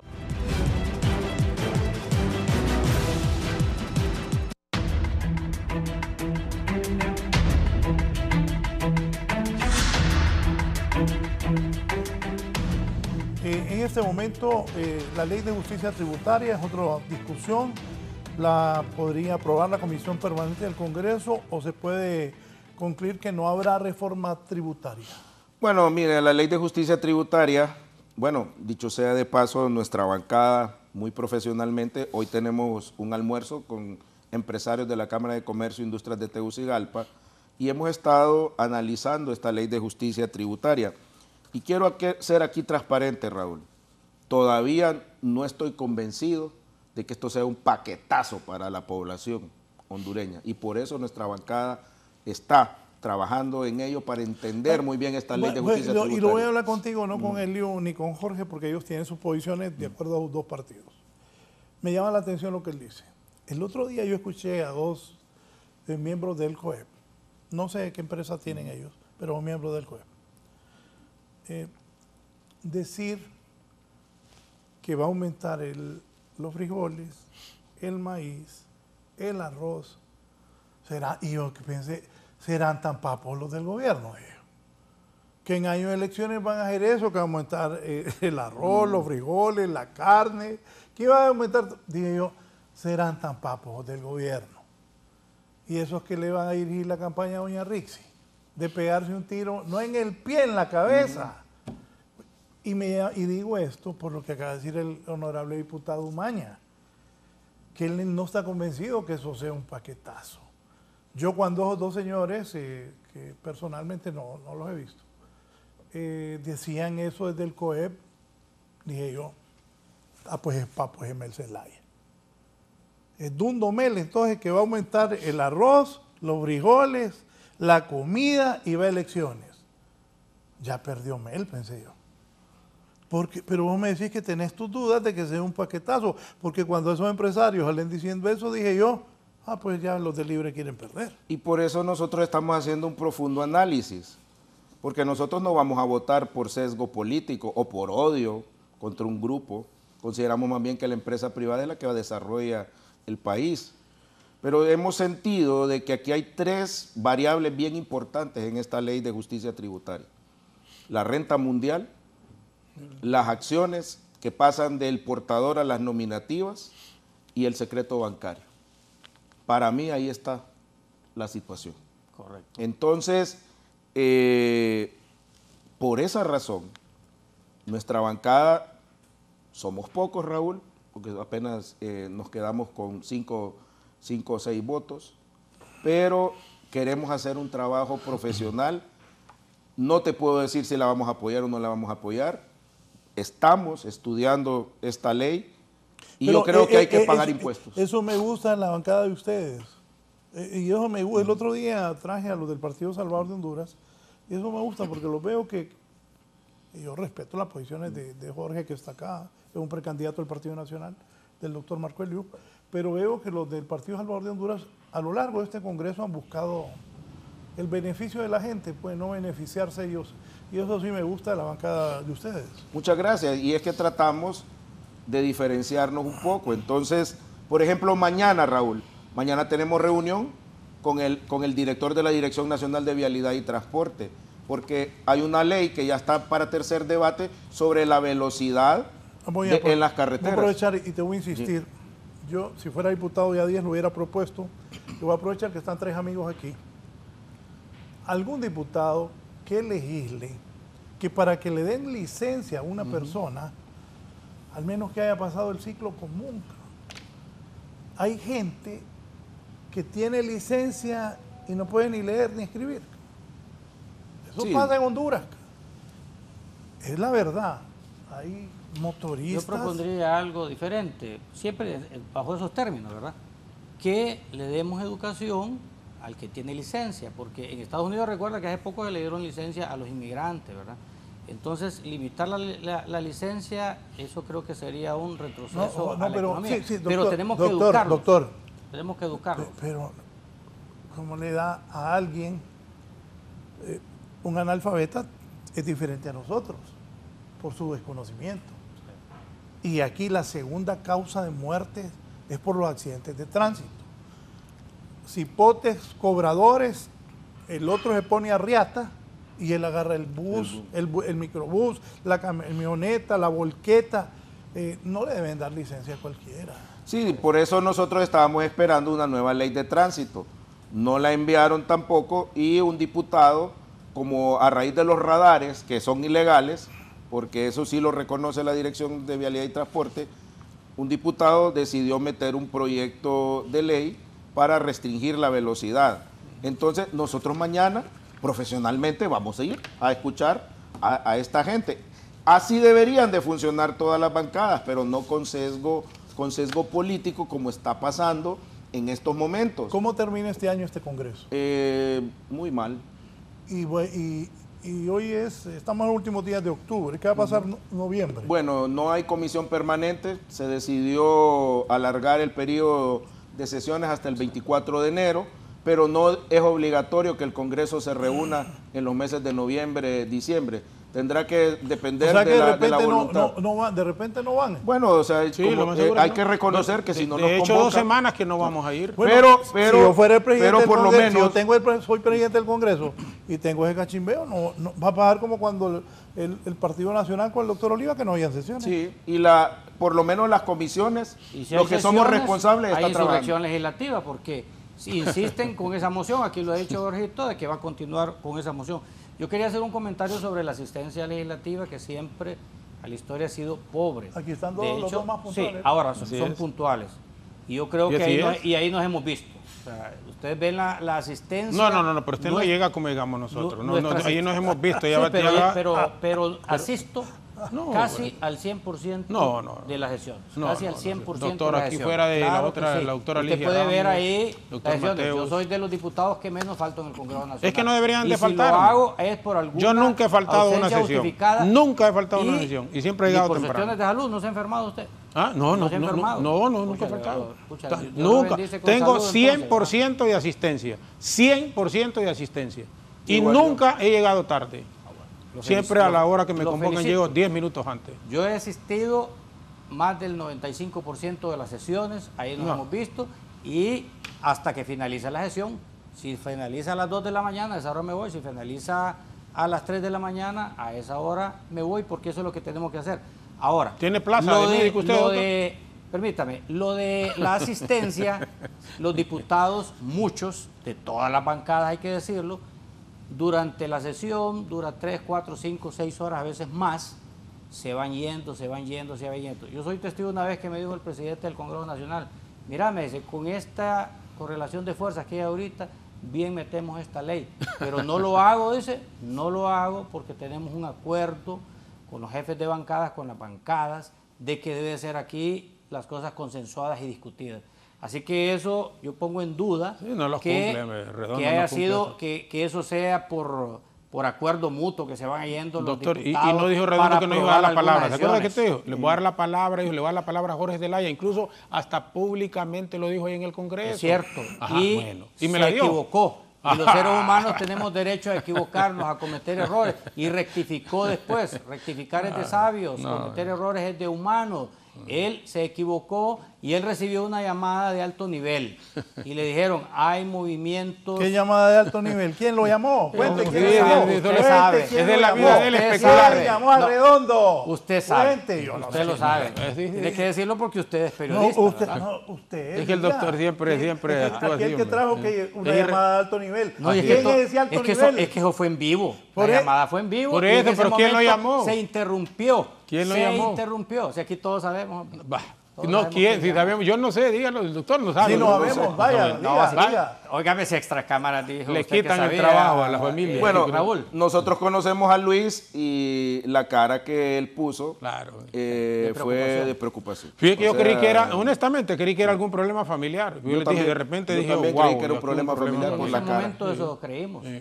Pero, es por ese es cuando uno no tiene criterio, no tiene, porque yo de veras lo miro al ingeniero. Fíjate que yo solo me reuní comenzando el gobierno el 2022, que me llamó, recuerdo, ahí a la, hasta había la abogada ahí, Fátima, porque estaba comenzando, como era del P- PSH él, y tuve como dos horas en la oficina, pero es que él pensaba, imagino yo, que, que haber dicho, bueno, si de hecho me invitó a China, me invitó a Rusia, me invitó a todos los viajes y no he ido a ninguno y ni voy a ir, que quede claro, porque ya lo estoy viendo usted que ya quiere, pero No, lo que, si pero lo mire, doctor, no, sí, claro, me invitó, él me llamó Bueno, y me sí. invitó, pero ¿qué le si quiero no decir yo? problema Él pensaba, él pensaba que yo iba a votar en todo con, con- con la línea de libre. No, si yo soy diputado del Partido Nacional y me siento muy orgulloso de mi partido. Lo que ocurre es que había que generar gobernabilidad y había que darle un espacio de tiempo a la presidenta y a él mismo como presidente del Congreso. ¿Por qué? Porque él llegó de una forma irregular. Doctor, si usted estuvo con nosotros allá en, ¿cómo se llama? En Zambrano, ¿no se acuerda? eso quería llegar. Ya se le Y- olvidó. pero ¿quién fue el responsable de haber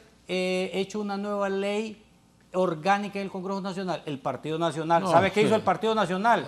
Integrar a todos los suplentes. Y ahora no somos 128 diputados. Claro. El Partido Nacional dejó una ley donde ahora somos 256 diputados.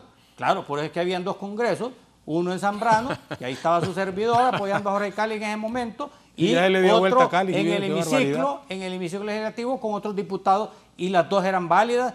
¿Por qué? Porque Ahora dice que eran válidas las dos. Antes decía que era válida donde estaba desconocíamos usted. esa ley porque cómo es usted. ustedes aprobaron esa ley a matacaballo, y no la- rajatabla, en la madrugada, la antes de entregar al poder. No, integraron, le pregunto, ¿integraron Doctor. ustedes a todos los diputados suplentes sin excepción, sí o no? ustedes, ¿Lo integraron? ¿Los Ahora integraron dice, ustedes? ahora, dice que es válido el Congreso que reformaron estaba esa ley. y él andaba allá. Ustedes reformaron esa ley donde los diputados suplentes se integran. O sea que ahora somos 256 diputados. Lo entiendo porque llega a pie, porque no hay parqueo ahí en el Congreso Nacional. Ahí llegan todos. Ahora tenemos iguales derechos, sí Debería- o no, los suplentes con los, con los propietarios. También deberían de ya de construir un edificio para un nuevo Congreso. De Bueno, habían hecho, dicho que el Banco de hecho, Central el iba- Banco Central Exacto, ya el es del Congreso Central. Nacional. Sí, sí, Lo que pasa es que no sé por qué razón el ingeniero eh, Redondo, eh, que era uno de sus sueños, eh, hacer la, la torre del Banco Central, las oficinas de todos los diputados, hacer un puente entre el Banco Central y el hemiciclo del Congreso y a- abajo una zona peatonal que incluso el alcalde Aldana se la había aprobado. Pero eh, solo quedó en planes, Es que Raúl. eran pero la torre del Banco Central ya es del Congreso Recuerda que Nacional. eran con fondos de China-Taiwán, que nos habían prometido y- hacer ese proyecto. Y tiene, sí, tiene, tiene, bueno, un arquitecto haría eso, para que haya, porque es cierto, bien pequeño. Sí, Es muy Lo mejor es que en El siguiente Congreso Nacional, eh, en este momento, debería ser propuesta de campaña de los partidos políticos reducir el número de diputados.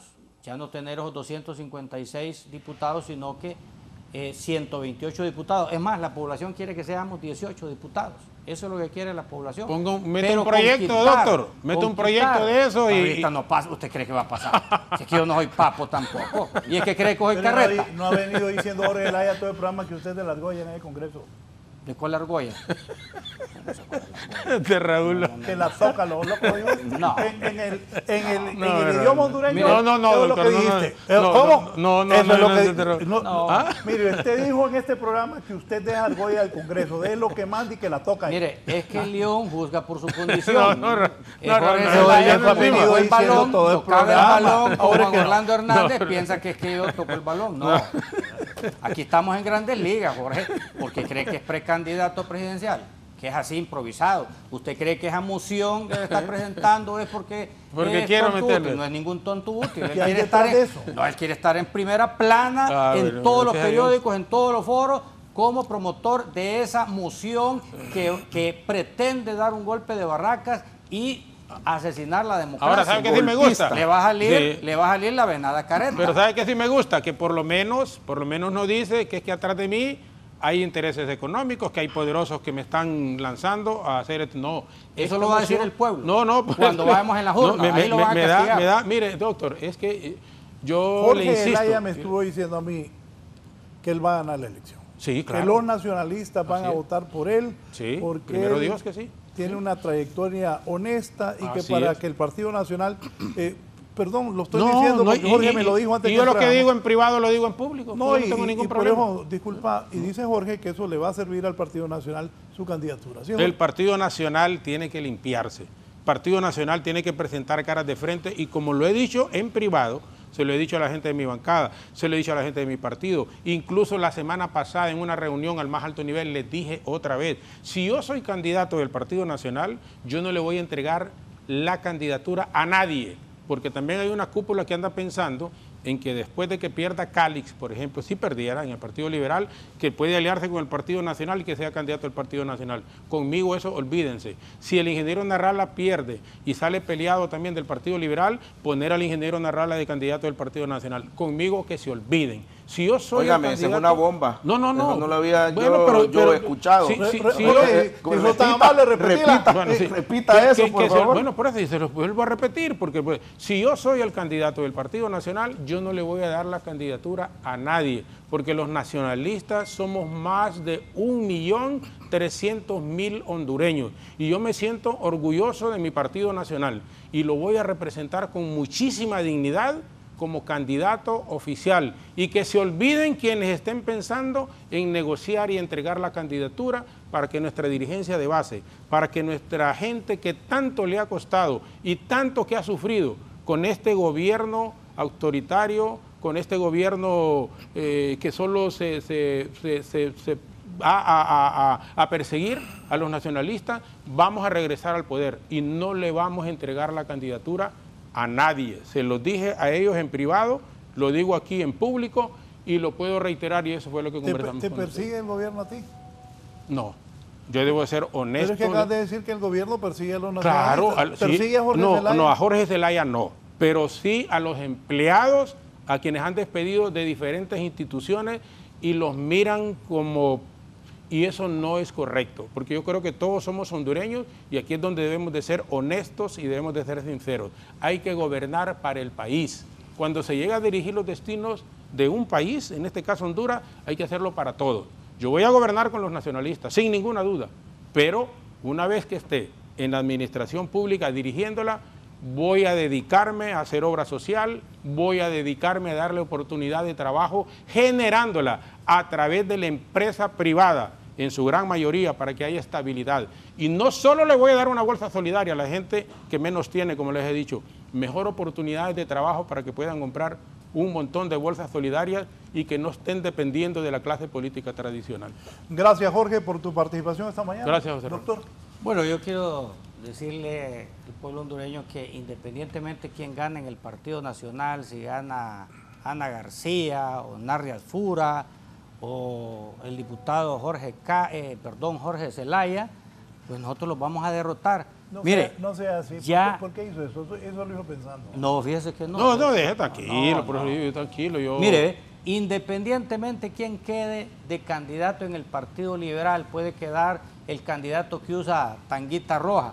Si en el Partido Nacional queda el candidato que usa calzones, los vamos a derrotar. Aquí la única que va a ganar es la que verdaderamente usa calzones de verdad porque es mujer y es la abogada Rixi Moncada. Y ahí vamos a derrotar al de la tanguita roja del Partido Liberal y al de la tanguita azul del Partido Nacional que está aquí presente. Bien, vamos a cerrar con el presidente de la bancada del Partido Salvador de Honduras. Conclusiones, Carlos. Así está el Congreso, no hay sesiones. Eh, de repente, si no hay acuerdos afuera, no va a volver ese Congreso hasta el otro año. ¿Es así? Aparentemente hacia ese rumbo vamos y ahorita que Controles ha puesto, ha fracasado el Congreso Nacional en su actual gestión. Creo que aún no, todavía es rescatable, todavía tenemos un año y meses, pero Raúl, todo indica que va rumbo al fracaso. Da pena decirlo eh, y por eso las personas, yo invito a la población, mi partido no va a elecciones internas, producto del elevado presupuesto que sería y nos están obligando a sentarnos con todas las bases del Partido Salvador de Honduras para llevar a las mejores personas. Pero yo le pido a la población hondureña esta vez que analice estos tres partidos políticos, van a elecciones internas, participen, vayan a votar, vean por quién van a votar, vean qué es lo que está pasando, analicen su vida, analicen su hoja de vida. Sí hay diputados rescatables en el Congreso Nacional, no podemos decir que no, de todas las bancadas, gente honorable, pensante, pero también hay gente afuera que puede hacer la diferencia. Así es que nosotros, Raúl, veremos los toros desde la barda eh, en las elecciones internas y nuestro partido se preparará para eh, el próximo año tratar de llevar una planilla de diputados, un candidato o candidata presidencial de alto nivel para que el Partido Salvador de Honduras pueda ser una opción para el país. Mientras tanto, los diputados de nuestra bancada harán las cosas profesionales y será nuestro accionar en el Congreso Nacional que decida por ustedes y de ustedes, querida población hondureña, si conviene o no que otra fuerza política tenga más diputados e incluso la presidencia de la República. Gracias Raúl por esta oportunidad. ¿El pronóstico va a haber sesión o no? Eh, no creo que haya por lo menos en los próximos 15 días. Jorge. No, no, no van a ver porque como andan en campaña y el ingeniero Redondo va de primer diputado por, por Cortés y solo tal vez eh, finalmente José Raúl decirle así rápido a la presidenta y al expresidente Zelaya que traten de mejorarle el salario a la esposa del doctor eh, Elio Girón. No, pero yo no acepto eso. No, usted mismo dijo ahorita que estaba ganando poco. Entonces mejórenle por favor el salario porque se lo merece, se lo merece. Yo le hago una muy respetuosa solicitud, mejórenle el salario a la esposa del doctor, a la suegra y a su hermana. Y dígale a ella, dígale a la esposa. Es que lo estoy diciendo aquí. Pero si lo mejoran, acepte. Sí, que él mismo dijo que ganaba Vaya, poquito. pues, está bien. Sí, que es lo a mejor. solicitud de Raúl Valladares, que es una persona. Mejórenle el sueldo a la esposa. Gracias, Jorge. Gracias, doctor. A los doctores acá y diputados, eh, Carlos Umaña y Marco Elio Girón, que es de lo más reconocido en Francisco Morazán por libertad y refundación. También hay que reconocerle eso al doctor Marco Elio Girón. Y usted, pues, asiste al Congreso. Buenos días.